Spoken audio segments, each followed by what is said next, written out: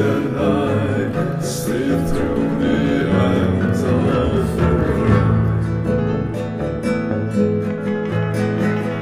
The lazy sat down on my mouth, they left my body breaking since it betrays.